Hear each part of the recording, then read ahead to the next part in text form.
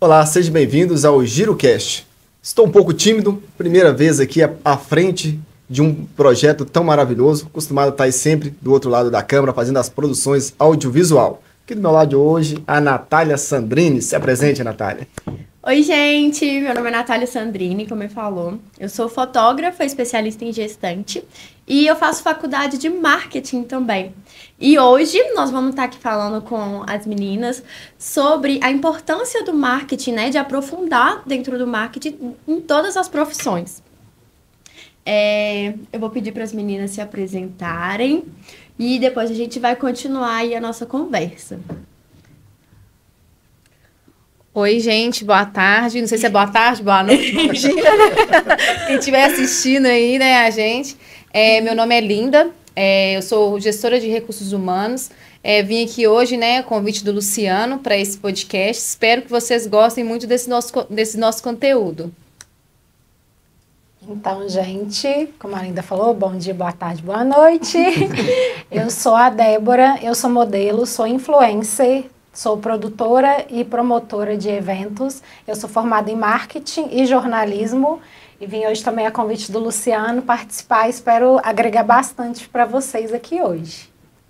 Eu sou a Amanda, eu sou gerente de comunidade. Eu trabalho para uma empresa de eventos em São Paulo que chama Informa Markets. E eu quero, estou muito animada com esse papo para a gente falar sobre o marketing e essa profissão tão incrível que abraça tantas outras. Tá ótimo. Então, roda a vinheta e vamos começar o GiroCast.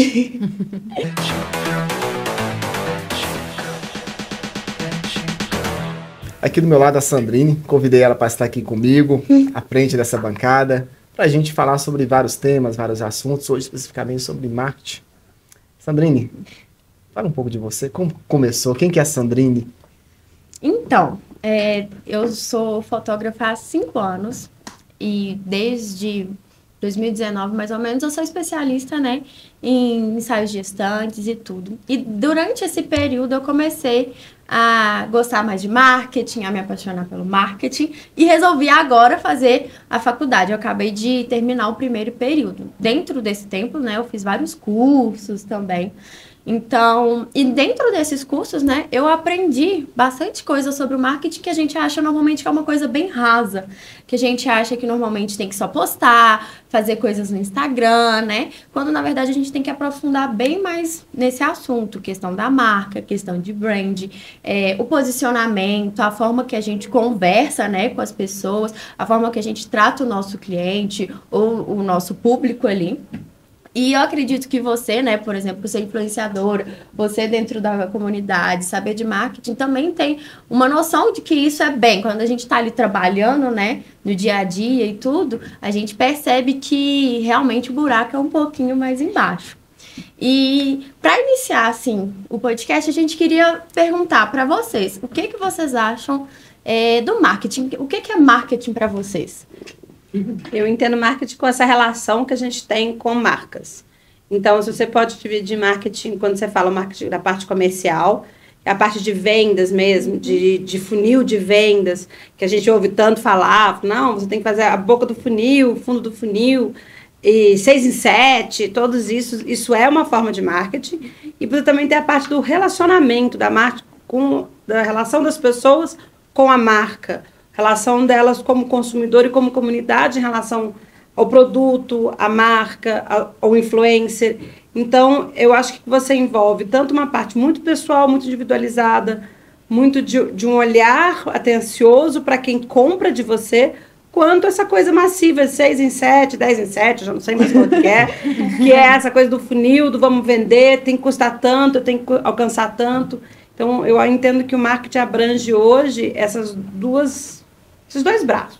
Exatamente, a gente ouve muito falar sobre essa parte mais acima, né, do marketing, do funil, do 6 igual você falou, mas a gente ouve muito pouco pessoal falando sobre a marca, sobre o relacionamento, que é esse outro ponto que você comentou, né? Eu acho que o marketing é tudo, a gente respira marketing em tudo que a gente vai fazer.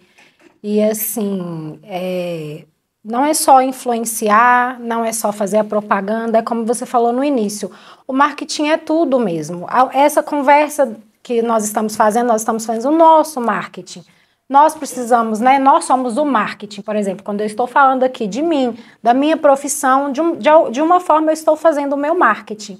Então, realmente, acho que nós temos que ter essa noção que é preciso o marketing, não é só ali o marqueteiro que precisa fazer o marketing. Todos nós, em cada profissão, você tem que saber fazer o seu marketing, saber falar, chamar atenção e assim também entender o seu cliente. Porque o cliente, aquela propaganda, o marketing, o melhor é o nosso aquele bordão que, que falamos, o boca a boca, é o melhor marketing a ser feito. Porque realmente traz muito mais credibilidade você ouvir uma pessoa falar: nossa, isso é maravilhoso, esse produto, né? Ou seja, qualquer coisa, não precisa ser só produto, mas você ouvir as pessoas falando ali, isso passando um para o outro, traz muito mais credibilidade. E isso é marketing. Exatamente. É, eu acho que sim, que tudo que elas disseram, né, a questão do marketing de influência na comunidade, eu falo, trago hoje o marketing na área de RH, né, que acho que é um marketing mais estratégico, é um marketing mais de buscar pessoas, né, no mercado. Quando você coloca o seu perfil ali no LinkedIn, você já está fazendo marketing, né? Sim, você está vendendo, querendo vender seu peixe, está procurando uma oportunidade que se encaixa no seu perfil, né? Então, acho que hoje em dia o mercado, ele é mais ousado, né? As pessoas Hoje elas, hoje existe também o pitch, que acredito, que acredito também que seja a parte do marketing, né? É uma apresentação pessoal. Então, é um marketing mais estratégico, mas é um marketing que ele pode, você pode definir a qualidade ali no, no seu processo seletivo, ou também na questão, eu falo da criação de um layout, né? No, na no divulgação uhum. de uma vaga da empresa, ou uma divulgação também de algo interno na empresa, também o marketing vai, na área, eu falo da área de RH, vai muito além, né? Do que um simples marketing. Hoje a gente usa marketing em todas as profissões. Quando a gente fala RH, a gente fala de reputação, né? É. Tenho que ter a minha reputação Ex no LinkedIn, as pessoas Exatamente. têm que saber quem eu sou. Mesmo na área de, quando a pessoa é digital influência, né? É, a reputação é tudo. Verdade. Então, para a marca também, a reputação é tudo. Então, se você tiver uma boa reputação, uma boa bom nome na praça, você vai sempre atrair novos clientes, conseguir fazer fechar bons negócios. Como diz a avó, né? Sim. Tem que ter nome limpo, né? É. E a Amanda falando da questão da, de marca, querendo ou não, o LinkedIn ali é a nossa marca própria. É, é você por você mesmo. Então ali você vai mostrar a sua marca, quem que é a Linda, quem que é a Amanda, quem que é o Luciano, né? Quem que é cada um de nós. Então ali você está mostrando a sua marca. Então ali, a partir do momento que você cria, é, já é um marketing inicial. Exatamente. Na pandemia a gente começou a ouvir falar muito sobre marketing, sobre marketing digital também, né? E eu acredito que as pessoas ficaram com uma visão, vamos dizer, o é pessimista. É e o quanto é preciso também, né? Sim. né? Nós tivemos mais essa, essa visão na uhum. pandemia, porque aí precisou vir em massa isso é, mesmo. As... Todo mundo começou a ter noção do quanto que era preciso é, eu, eu entendo assim, eu, eu quando ela fala pessimista, porque é. as pessoas ficaram meio, acho que. É, perdão, é pessoal. Meio, usou... meio assim, ah, eu não aguento mais, tudo é marketing. É. Não, agora eu tenho que me vender, Sim. ah, eu tenho que ter Instagram, ah, eu tenho que ter LinkedIn. E deu uma. Acho que a palavra é saturada no tema. Exatamente. Sim. Mas eu acho que a saturação foi vista de uma forma. Eu acho que como foi vendido, foi, foi, foi equivocada. Forma é o pessoal, querendo ou não, muitas pessoas usaram o marketing. Lembra daquele negócio do Hotmart e tal? Uhum. O pessoal tá ligando muito marketing digital a isso. A Quando... venda só. Eu é... preciso vender um produto. Sim. Eu preciso vender um produto. E de qualquer forma, não importa se é, a ética na hora de vender o produto. As pessoas ficaram muito nisso. E hoje as pessoas acham que agora que está começando a voltar e perceber que não é isso, né? O marketing, ele é digital, principalmente, ele é bem mais abrangente do que isso. E não é uma fórmula mágica, gente. Seis, não, tô, não estou menosprezando 6 em 7, 10 em 7, porque é uma metodologia que as pessoas têm e funciona para Funciona para certos tipos de negócio. Mas não, e, mas não dá para você também confiar só numa fórmula e vai achar que vai funcionar, que só aquele guru da internet vai te dar a solução para o seu marketing. Se você não conhecer o seu produto, o serviço que você está vendendo, cliente. o cliente para quem você está vendendo, se a comunidade, esse novo olhar desse marketing de influência, assim, não é mais você só vender para todo mundo, é você ter uma comunidade onde você tem um, um, nicho ali que você te conhece mesmo, que conhece o seu produto, que conhece quem você é, que quer interagir com você é, diretamente, que quer ter um contato com você, que quer, vender, quer levar a sua marca que acredita em você, Tem um relacionamento mesmo, né? que tem um relacionamento com você. E essas pessoas é que vão ser os seus marqueteiros, assim, vão ser essas pessoas que vão levar a sua marca para fora. O boca a boca. O boca a É, boca. verdade. Então, quando você olha o marketing como uma relação entre o seu produto e o seu público, e, e de uma forma humanizada, e não formulada, e não na caixinha, que faça assim que vai dar certo, você tem mais chance de ter sucesso quando você está vendendo um produto ou serviço. Porque você trabalha com gestante, eu trabalho com um público que é logístico. São públicos diferentes, são personas diferentes. Não adianta eu querer aplicar uma fórmula mágica que vai dizer que eu consigo vender, eu consigo vender tudo para o meu público e tudo para o seu. Uma fórmula Não, pronta, não, né? não. Não, não existe fórmula pronta para nada. Não. Eu acho que hoje o marketing ele tá para todo mundo quem quer ver e quem quer conhecer, né? Eu acho que só as plataformas digitais, eu falo muitas coisas que tem hoje no mercado, né? É, é evolução. Eu vou falar um, um exemplo aqui de marketing da minha vida pessoal. Meu pai, por exemplo. Meu pai era vendedor ambulante. Ele tinha um carrinho de milho na porta do Parque Guanabara. Todo mundo conhecia ele para um milhão. Por quê? Ele vendia o melhor milho. Então, era o boca a boca. Onde as pessoas iam, por exemplo, ah, você já comeu milho lá na porta do Parque Guanabara? Não, é o melhor milho verde que tem. Então, acaba que o marketing antigamente, que meu pai vendia ali, ele não conseguia postar aqui na rede social ou ter um, um, um falam uma, uma visibilidade né das pessoas na rede social até mesmo porque ele não tinha nem tanto conhecimento em rede social. Hoje a gente existe a rede social a gente posta a gente tem influências mas ele não tinha essas pessoas. Então ele além dele usar o marketing dele para ele ele era muito engraçado que ele colocava ele pediu para fazer um milho verde de daqueles materiais tipo de Ai, como que fala? Isopor? Tipo isopor, PVA. só que é um aquele, só que aquele mais, aquele mais grossinho, que se você bater ele até quebra. Aí mandou fazer um milho verde enorme pra o que, que ele fez? Colocou na frente do carrinho dele, porque o carrinho dele também não mostrava Que era um- que era um milho verde. Então, ele fez a forma dele, do marketing dele. Ele E, assim, colocou um milho verde enorme. Muita questão, sem muitas coisas, né? As coisas são Simples, né? simples. Mas era mais a ver com pessoas, é isso. As pessoas, o, a- o cara da padaria, ele era o melhor marqueteiro que tinha. Ele sabia o nome de todo mundo que ia lá. Ele conhecia a família, o filho, o cachorro. Ele perguntava como é que é a sua tia, como é que é a sua mãe, como é que é todo mundo. Então, e você, você ia lá não só porque tinha o pão. O pão era o menor das suas questões. Você ia lá porque você sentava, tomava aquele café com uma pessoa no balcão.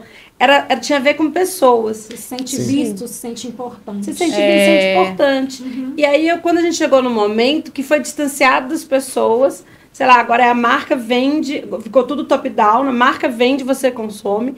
E agora, isso, a pandemia trouxe uma, uma ruptura que voltamos a olhar para pessoas. Sim. É, normalmente, igual a gente está comentando aqui, são, eram trabalhos mais simples, né? Que as pessoas olhavam para as pessoas. Grandes empresas não estavam preocupadas com humanização, com relacionamento com o cliente, porque antes não era uma grande questão. Hoje em dia é uma questão muito grande que a gente tem que prestar atenção é, em cada detalhe ali do processo que a gente está conversando com o nosso cliente, com o nosso Porque público. com o digital também veio mais concorrência, eu acredito, né?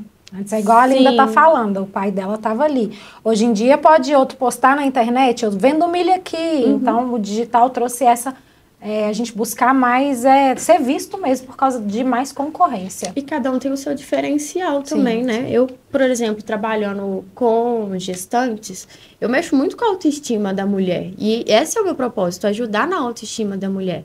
E é um momento ali de muita emoção, né? É. Às vezes eu levo patada sem a pessoa perceber, ela depois não desculpa, foi o momento da emoção, que não sei o quê. E eu tento cuidar o máximo para isso não, não acontecer. E a pessoa se sentir ali é, como uma pessoa e não só mais um número em cada processo, desde quando ela chama, até durante o ensaio, até depois, né, na pós-produção, depois do ensaio, para ela perceber que ela não é mais um número, porque as pessoas não querem mais ser só um número que comprou tal coisa em tal lugar. Elas querem se sentir especial e Elas querem se tipo parte de uma comunidade. É, exatamente. Algo mais humanizado mesmo. Uhum. E o que é legal, né? É interessante que a gente volta, volta, roda e a gente acaba voltando para as relações. Vem aí a pandemia que vocês citaram, deu um distanciamento, a gente ficou em casa. muitos tristes, muitos adoeceram.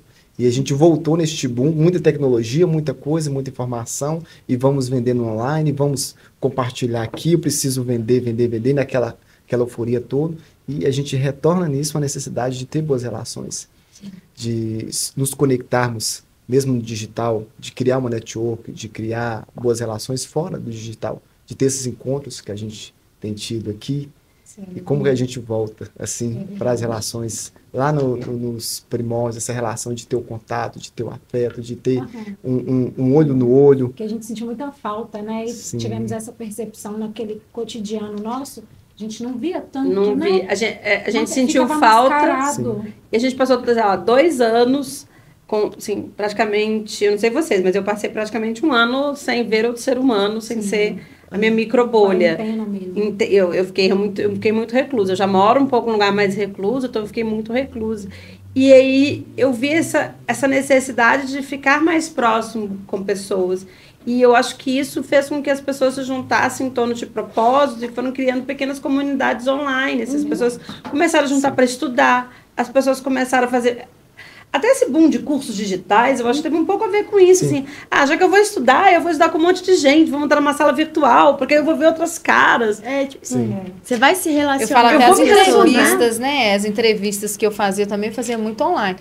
Na pandemia, eu não posso dizer que eu fiquei muito longe das pessoas, não, porque eu trabalhei, não tive home office, trabalhei a pandemia inteira. Acho que foi a época que eu mais trabalhei. Mas eu perdi meu pai na pandemia, então, assim, eu fiquei mais longe da minha família.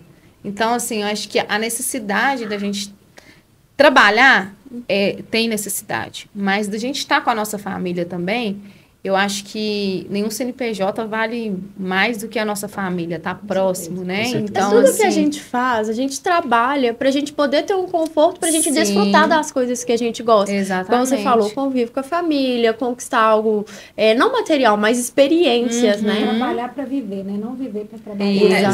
E, e, as marcas começarem a entender isso, uhum. e aí aumenta, esse, é, começaram a aumentar esse senso de comunidade. Assim, quantos influencers estão criando pequenas comunidadezinhas? As marcas estão olhando para o seu público com mais carinho. É, aumentou essa questão do customer success, customer experience, para que as pessoas tivessem os seus clientes não só mais só com aquele cara que compra, mas aquele cara que participa da decisão até da, da empresa. Uhum. Você testa hoje a, as coisas com uma, um grupo pequeno e vê se ele vai funcionar. E você uhum. conversa com essas pessoas, ouve o feedback porque eles entendem que não é mais só não é mais sobre CNPJ, é sobre CPF. E sabe o que aconteceu comigo essa semana? Muito engraçado você falando sobre isso de testes, né?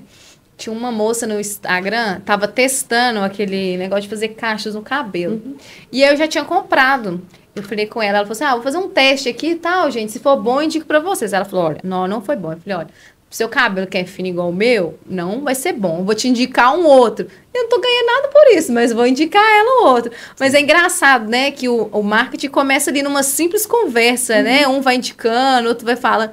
Aí ela foi comprou, ela falou, linda, realmente esse serviu pro meu cabelo. Eu falei, é porque o meu cabelo é o tipo do seu. Então, é legal isso, porque às vezes você compra uma coisa, às vezes, igual, é muita coisa online hoje em dia, né? Você fala assim, nossa, será que isso é bom? Será que isso vai, vai dar? E o legal também foi que você não falou mal do produto é, ela, né? Você é. falou, olha, por causa do seu tipo de cabelo que não dá. Pode ser bom para outra pessoa, sim. mas para você não foi. Então, vou te, vou te encaminhar algo que seja bom para você. Uhum, como... Sem queimar outra, outro, outra pessoa, né? Outro, outra marca. É.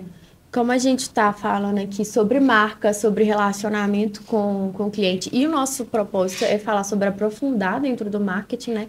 Eu queria trazer o conceito de branding. Porque eu acho, acredito que toda marca tem que ter um brand, mas a maioria das marcas não sabem o que, nem o que é brand. As pessoas não sabem exatamente o que é brand. Exatamente. É uma coisa é, simples, mas no início é complexo para a gente entender.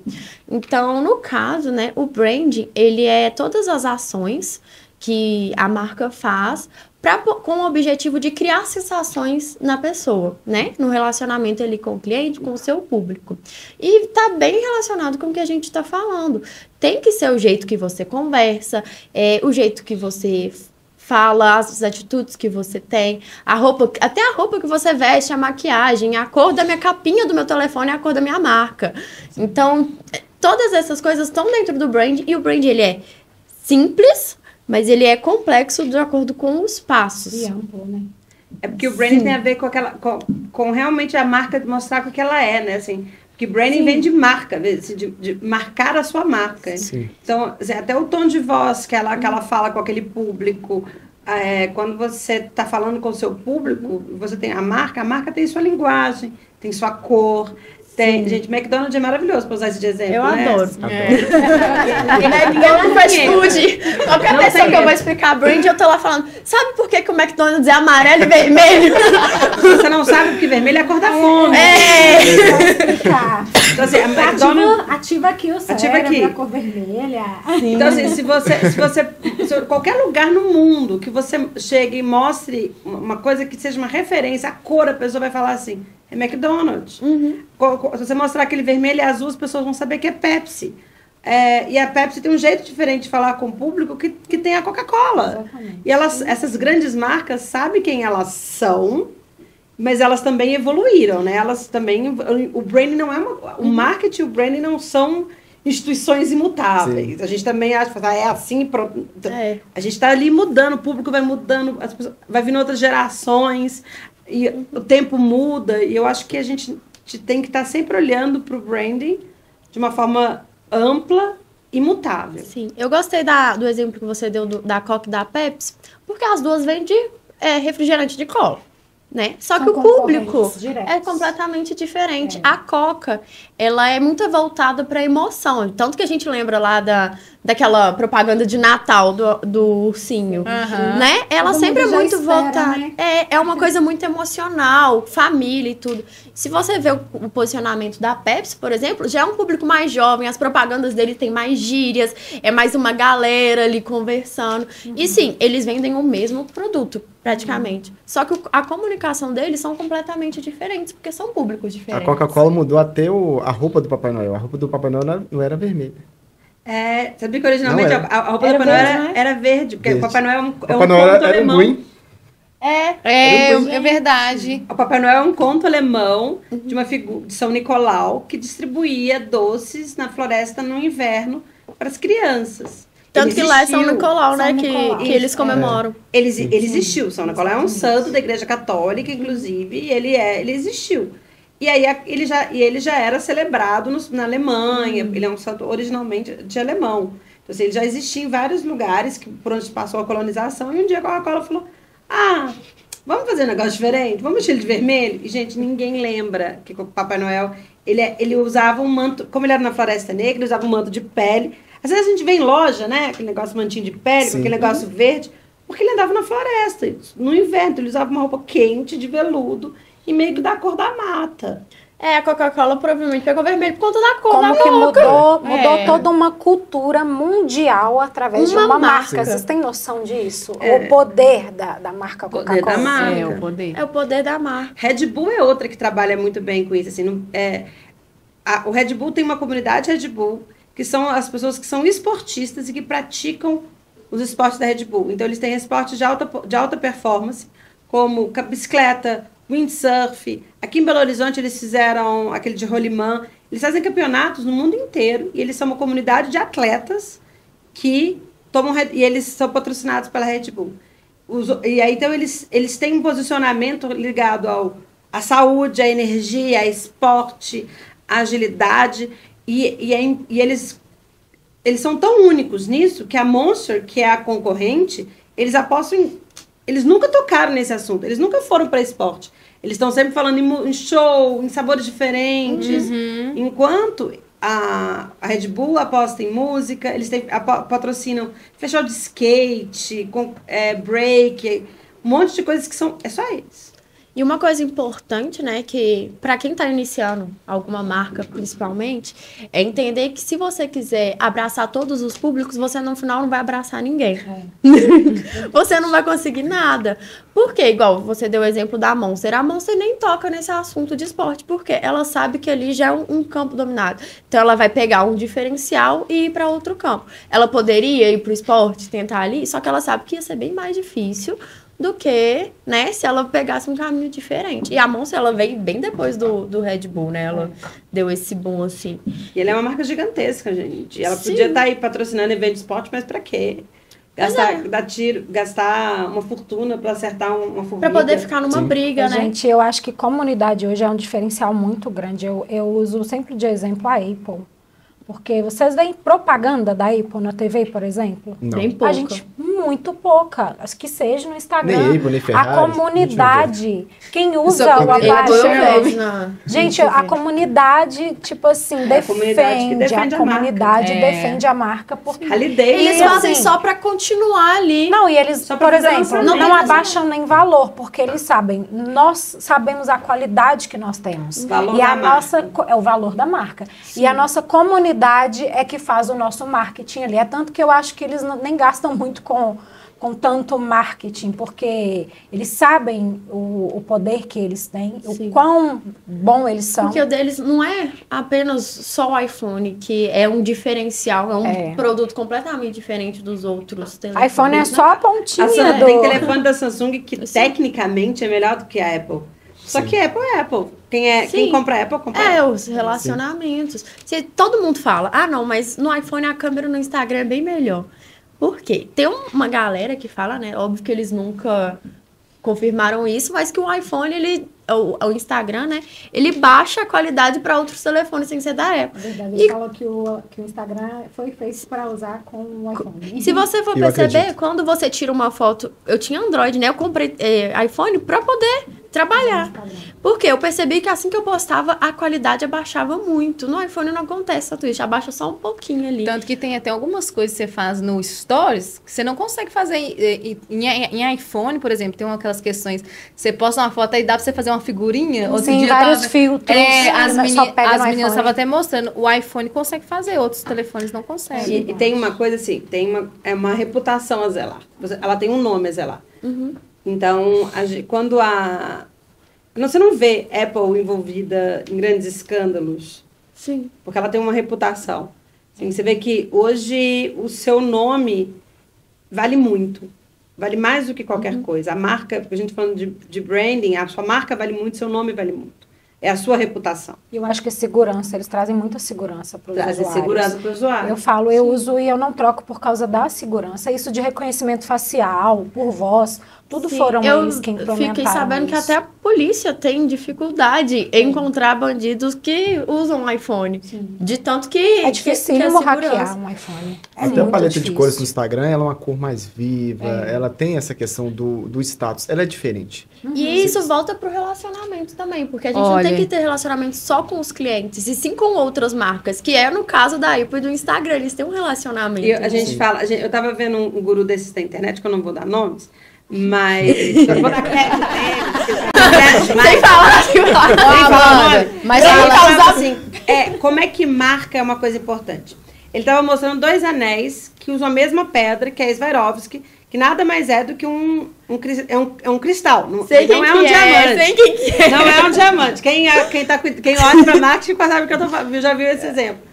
E aí ele fala assim: uma marca se vende, que é a própria marca, acho que é Morano, ela se vende como como joia. Gente, ela é semi-joia como a outra.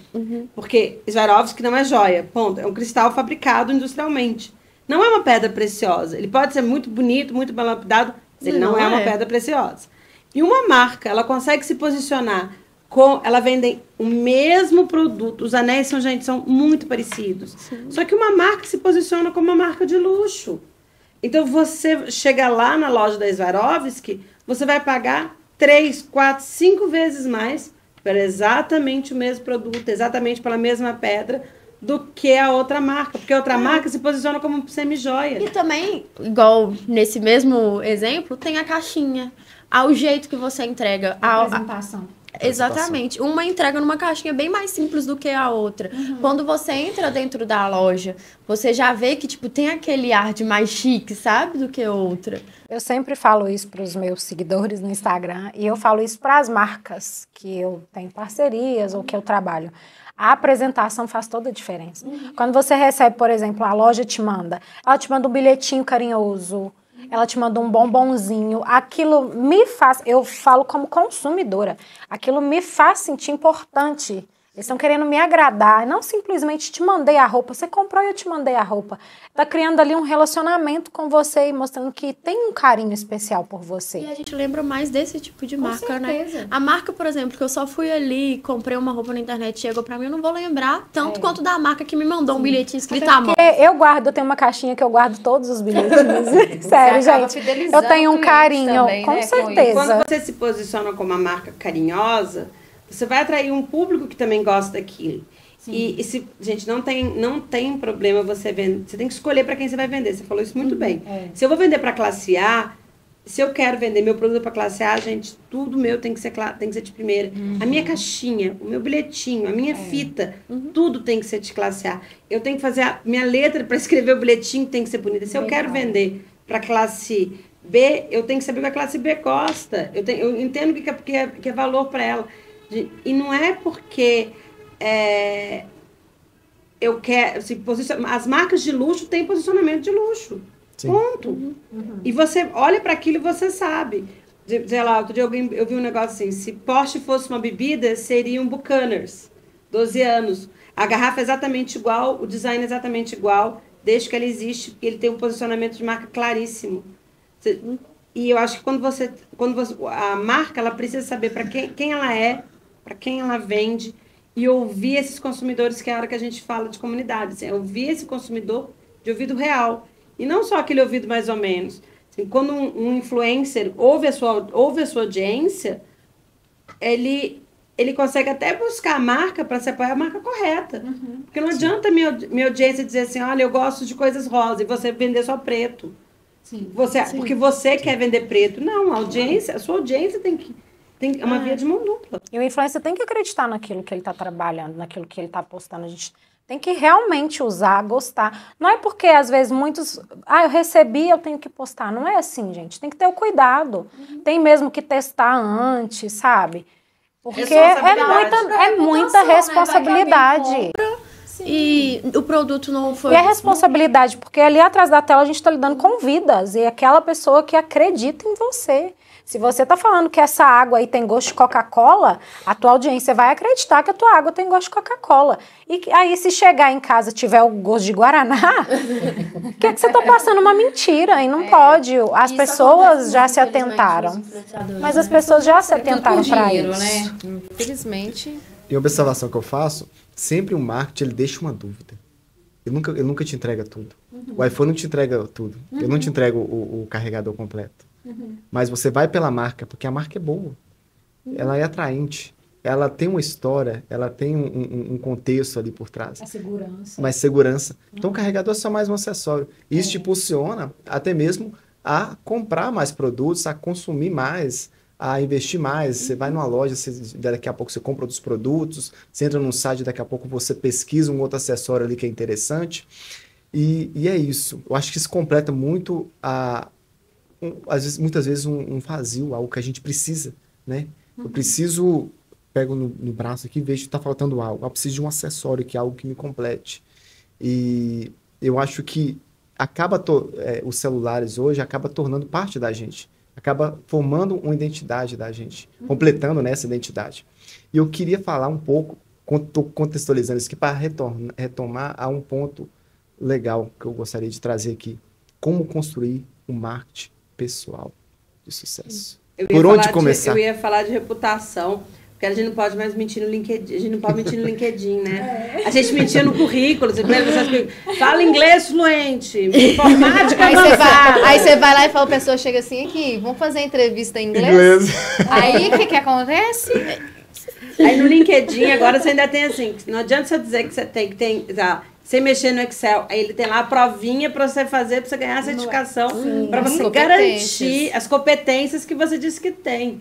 Assim, a reputação, agora não adianta mais eu Inclusive, quem estiver recrutando, quiser te indicar para você fazer aquele teste ali, ele consegue. Ele Tá, consegue. consegue. Te- Faça os testes de competência para provar que você sabe. Vou te indicar um testezinho de competência para ver se é isso mesmo que você tem. E assim, a gente falou aqui, né, sobre as grandes, a grandes marcas e tudo. É, mas é importante a gente entender sobre as grandes marcas para a gente poder voltar para o nosso marketing pessoal. Porque a gente está aqui com, com, a intenção de falar, por exemplo, das profissões, né? Eu, como profissional, o que, que eu tenho que fazer dentro do meu marketing pessoal e dentro do marketing da minha marca, da minha empresa, para chegar no objetivo. E a gente entendendo como as grandes marcas funcionam, a gente consegue montar o nosso, nossa própria marca, o nosso próprio branding, o marketing ali muito mais fácil, porque a gente tem ideias, a gente pesquisa e tudo. Benchmarking, gente, é isso. Muito a Coca-Cola não nasceu grande. É. Eu acho ninguém, muito bacana. Ninguém nasce grande. Ninguém né? nasce é. grande. E o nosso marketing pessoal, eu acho que, tipo, que assim, a gente faz transições também no nosso marketing pessoal. Eu falo por mim, até a vestimenta que você usa, sabe? Você conversa através da sua roupa, através do seu olhar, do seu modo de gesticular. Tudo Sim. a gente conversa. E isso mostra, é o nosso marketing pessoal. É, falar gírias, por exemplo. Se você for divulgar uma empresa, uma coisa, você chegar falando gírias, não vão te dar credibilidade. Sim. Mas tem locais que são usados gírias. Por exemplo, você vai lá é, divulgar um skatista, por exemplo, ou no meio deles, é, se fala muita gíria. Uhum. Então, entende? São, são coisas diferentes. Não adianta você chegar lá falando do, pois não, é, senhor. Pois não, senhor, que é, é não, não, vai. vai. E você não vai criar conexão não com esse tipo nenhuma. de público. É.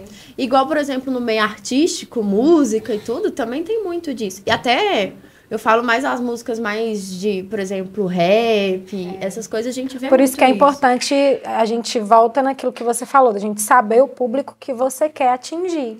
Sim, exatamente. Porque imagina se eu for hoje, por exemplo, eu vou lá hoje em um hospital, aí eu vou ter que chegar lá toda bonitinha, de terno, né? Uma clínica. Aí amanhã eu vou lá no skatista, vou ter que chegar falando gíria, vestida é.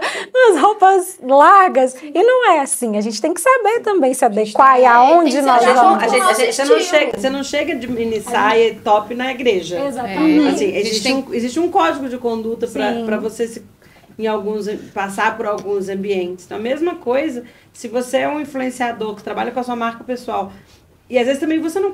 Se você não se identifica com a turma do skate, com o rap, não adianta você também tentar vender. Se querer porque se você vai soar, vai, a gente vai soar que nem o inglês falso. fluente no RH, né? Muito falso. É, Aí vai ser muito forçado. Porque a gente Sim. tem comunicação mais assertiva, né? Igual é. ela falou sobre a questão do trabalho dela de fotografia com gestantes. É, falou, falou, tem, fala tá engraçado a parte de humanização. Eu trabalhei numa clínica de gestante, então as gestantes elas são mais sensíveis. Uhum. Ali por, pelo momento delas são mais sensíveis. Então a forma, talvez, igual você fala, às vezes dão uma patada sem querer, depois elas pedem desculpa. é porque a sensibilidade delas ali naquele momento. São os hormônios. São os hormônios à flor da pele. Ou, ou também, por exemplo, eu tô querendo é, dar um feedback para alguém, né? Uhum. A pessoa tá fazendo algo errado, vou dar um feedback. Acho que é, hoje eu tava falando, é a forma como você, como se fala, como se fala. porque talvez eu possa ser uma pessoa ríspida, grossa, mas eu não vou falar com aquela pessoa dessa Sim. forma, eu vou Sim. me portar de outra com é. outra comunicação. É, isso, isso né? foi experiência. Eu fui. No início eu não sabia, eu achava que era alguma coisa contra mim. Mas eu percebi assim, gente, isso é normal de gestante. A gestante está ali com um monte de, de sensação. E a gestante é ansiosa, né, gente? Eu não posso chegar em casa e já mandar as fotos tudo para ela. Então ela às vezes fica pedindo, às vezes fala e tudo. Eu falo assim: olha, vamos com calma, mãezinha, sendo sempre tranquila com a voz. Mesmo quando a pessoa se altera com a gente, a gente ser mais tranquilo, porque a gente entende que às vezes não é sobre mim, não é comigo não, que ela tem um problema.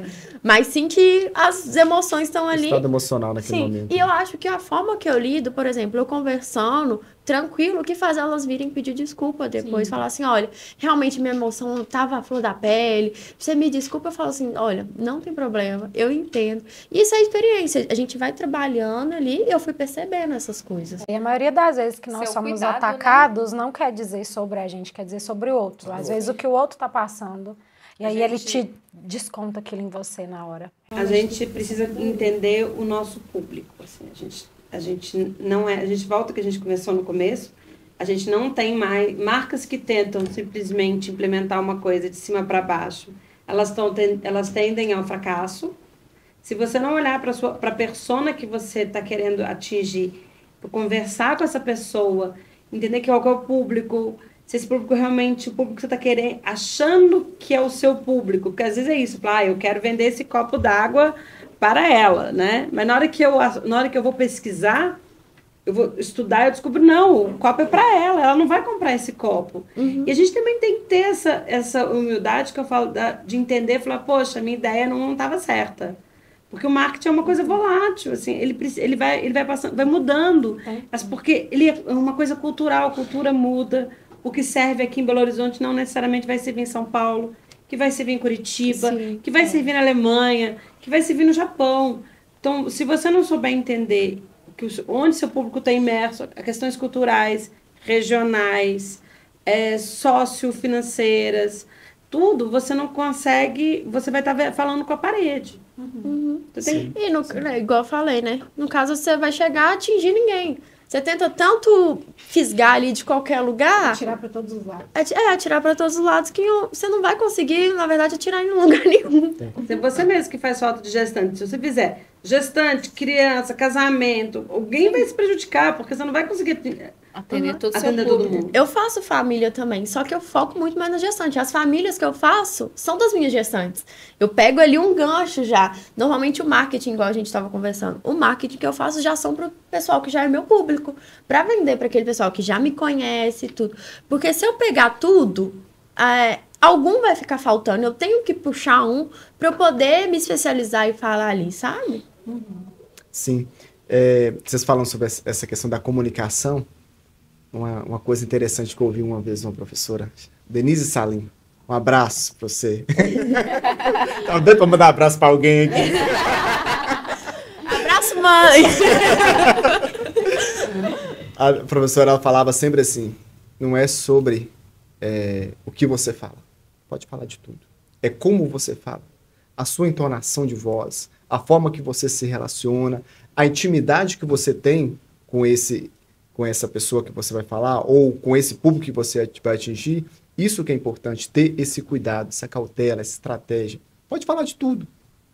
Pode xingar um palavrão com um amigo? Ah, pode. Mas você precisa entender, compreender qual que é o nível de intimidade que eu tenho com essa pessoa, qual que é a relação é que eu tenho com essa pessoa. a pessoa. que você quer da pessoa. Conhecimento, a gente, é. a, a, gente não presume, a gente estuda. Uhum. É, é, muito, é muito, a gente, a gente tem que sair desse lugar que a gente sabe tudo e sempre está no lugar eu não sei nada. É. Então eu vou estudar.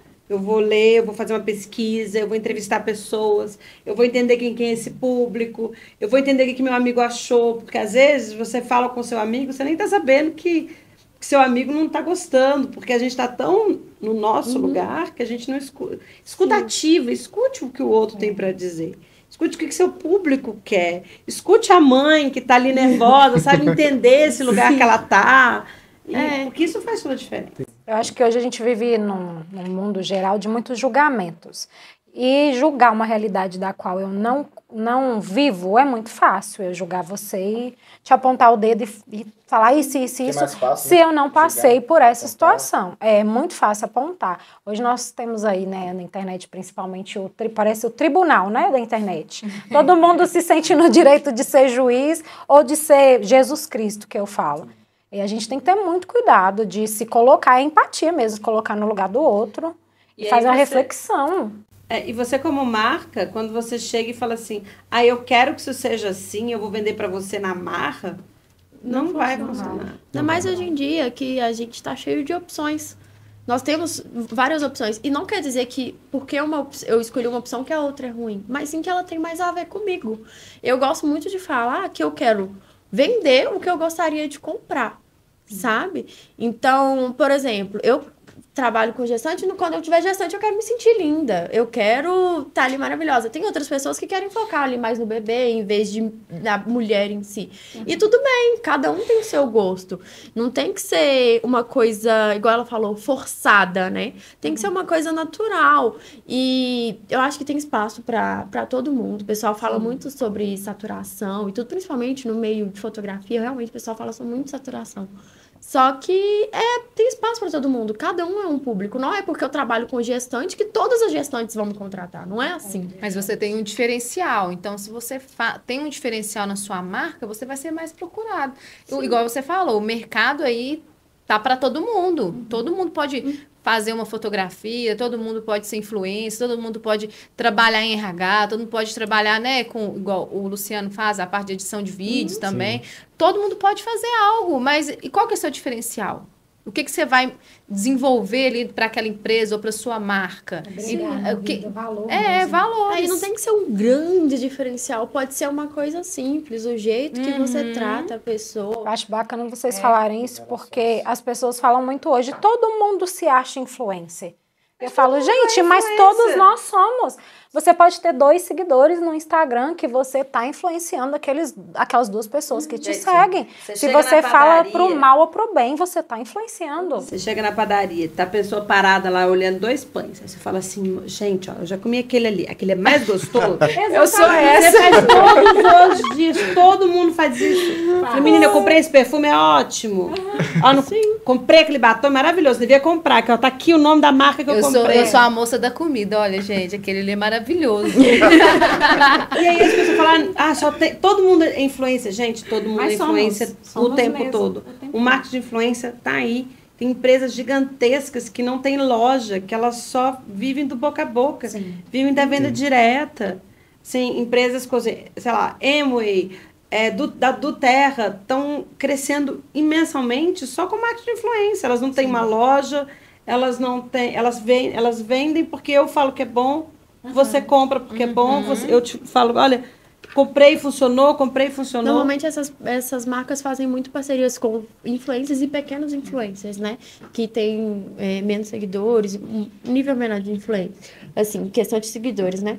E a gente parando para pensar, Já viram que às vezes traz mais credibilidade, né? O que a gente está falando de públicos, de nichos, tudo isso. Às vezes um influencer que tem 100 seguidores, ele vai trazer mais retorno com aqueles 100 seguidores do que quem tem um milhão. Sim, Comunidade. isso faz parte do brand, da, do posicionamento da marca. Quando ele tá ali é, focando nos influenciadores para eles poderem divulgar até os pequenos, faz parte do brand da marca. Isso tudo é questão de, de estratégia, né? É porque quando a gente fala de comunidade, a gente fala que comunidade não é escalável, porque não adianta eu ter 10 mil pessoas. A marca não consegue, às vezes, falar com 10 mil pessoas, mas ela consegue ouvir essas 100 que estão ali defendendo a marca. São aqueles 100 que você consegue ouvir.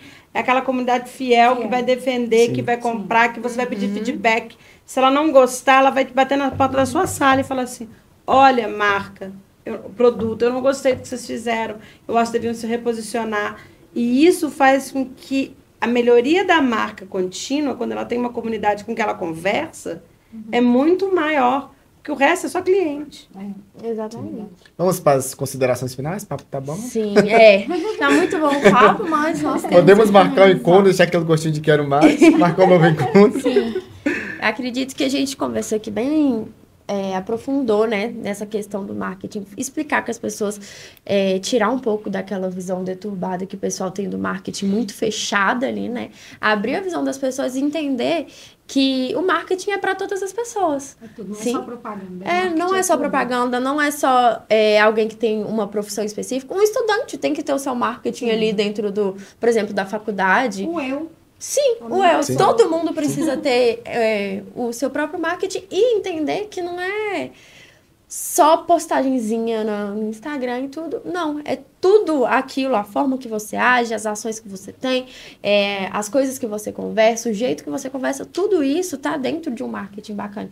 Isso não é ser falso, gente. Tem o pessoal confunde marketing com ser falso.